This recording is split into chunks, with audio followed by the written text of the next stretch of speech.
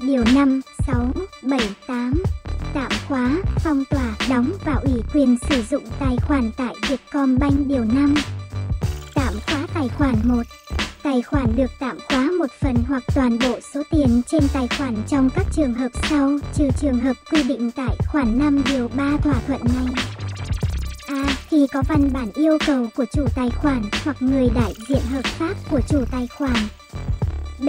Theo thỏa thuận trước bằng văn bản giữa chủ tài khoản và Vietcombank. 2.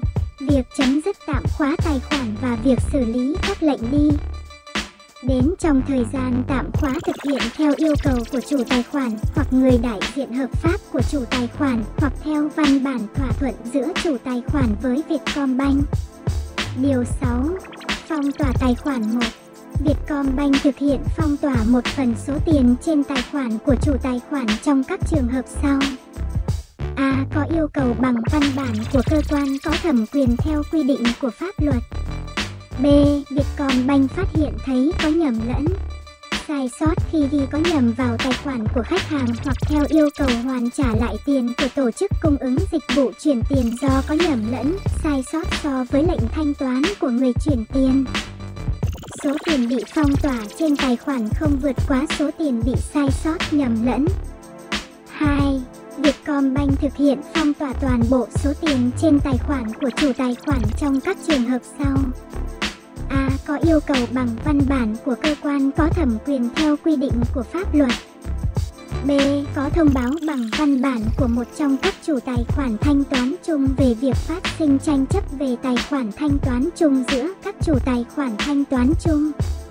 3. Ngay sau khi phong tỏa tài khoản, Vietcombank phải thông báo bằng văn bản hoặc bằng hình thức thông báo đã thỏa thuận tại giấy đề nghị mở tài khoản tổ chức hoặc văn bản thỏa thuận trước giữa Vietcombank và chủ tài khoản cho chủ tài khoản hoặc người đại diện theo pháp luật của chủ tài khoản biết về lý do và phạm vi phong tỏa tài khoản. 4.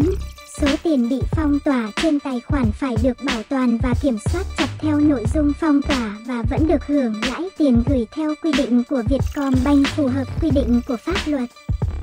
Trường hợp tài khoản bị phong tỏa một phần thì phần không bị phong tỏa vẫn được sử dụng như bình thường. 5. Việc phong tỏa tài khoản chấm dứt khi đáp ứng một trong các điều kiện sau. A. Kết thúc thời hạn phong tỏa B. Có văn bản yêu cầu của cơ quan có thẩm quyền về việc chấm dứt phong tỏa tài khoản. C. Vietcombank đã xử lý xong sai sót nhầm lẫn về chuyển tiền. D. Có thông báo bằng văn bản của tất cả các chủ tài khoản thanh toán chung về việc tranh chấp tài khoản thanh toán chung giữa các chủ tài khoản thanh toán chung đã được giải quyết. Điều 7. Đóng tài khoản 1 Vietcombank thực hiện đóng tài khoản của khách hàng trong các trường hợp sau. A. Có văn bản yêu cầu đóng tài khoản của chủ tài khoản và chủ tài khoản đã thực hiện đầy đủ các nghĩa vụ liên quan đến tài khoản. B. Tổ chức có tài khoản chấm dứt hoạt động theo quy định của pháp luật. C. Chủ tài khoản vi phạm cam kết hoặc các thỏa thuận bằng văn bản về mở và sử dụng tài khoản với Vietcombank. D. Khi tài khoản có số dư bằng không trong thời gian trên 12 tháng liên tục. E. Các trường hợp khác theo quy định của pháp luật. 2. Sau khi đóng tài khoản, Vietcombank phải thông báo cho chủ tài khoản biết. 3. Số dư còn lại sau khi đóng tài khoản được xử lý như sau.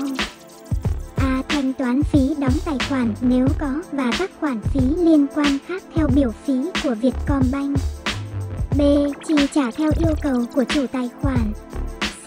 Trường hợp đóng tài khoản khi tổ chức chấm dứt hoạt động theo quy định của pháp luật thì số tiền còn lại trước khi chi trả theo yêu cầu của chủ tài khoản đối với tài khoản của tổ chức. Người thừa kế, đối với tài khoản của cá nhân, phải được bù trừ với số công nợ của chủ tài khoản tính đến thời điểm đóng tài khoản với toàn hệ thống Vietcombank theo văn bản thỏa thuận giữa chủ tài khoản. D. Chi trả theo quyết định của tòa án.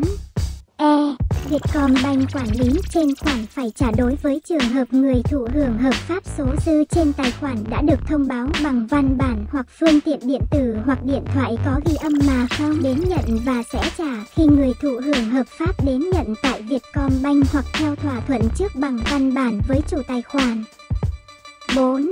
Sau khi đóng tài khoản, khách hàng phải làm thủ tục để mở tài khoản mới trong trường hợp khách hàng muốn sử dụng các dịch vụ về tài khoản của Vietcombank. 5. Vietcombank không cung cấp cho khách hàng thông tin tài khoản đã đóng trừ trường hợp đặc biệt theo yêu cầu của các cơ quan quản lý nhà nước hoặc được Vietcombank chấp thuận. Điều 8. Ủy quyền sử dụng tài khoản 1 khách hàng có thể ủy quyền cho người khác sử dụng tài khoản theo từng lần từng lần giao dịch hoặc có thời hạn theo thủ tục và quy định của Vietcombank. Trong thời gian ủy quyền, người được ủy quyền có đầy đủ quyền và trách nhiệm như chủ tài khoản và trong phạm vi ủy quyền. 2. Văn bản ủy quyền cần ghi rõ phạm vi ủy quyền đối với sử dụng tài khoản. Tạm khóa tài khoản, đóng tài khoản, đăng ký sử dụng, yêu cầu thay đổi các dịch vụ ngân hàng điện tử. 3. Thông báo chấm dứt ủy quyền có thời hạn của chủ tài khoản chỉ có hiệu lực đối với Vietcombank khi Vietcombank đã đưa toàn bộ thông tin chấm dứt ủy quyền lên mạng máy tính và trong mọi trường hợp, không quá 24 giờ kể từ thời điểm Vietcombank nhận được thông báo chấm dứt ủy quyền của chủ tài khoản. 4. Trong trường hợp chỉ sử dụng giấy đề nghị mở tài khoản, giấy đề nghị thay đổi thông tin tài khoản và không kèm theo văn bản ủy quyền riêng. Vietcombank chỉ chấp nhận phạm vi ủy quyền là sử dụng tài khoản, không bao gồm các nội dung sau, mở mới tài khoản, thay đổi thông tin tài khoản, tạm khóa tài khoản, đóng tài khoản. Đó là bốn điều trên nằm trong điều khoản, điều kiện khi mở và sử dụng tài khoản tiền gửi tại Vietcombank áp dụng với khách hàng, tổ chức chia sẻ hữu ích nhé.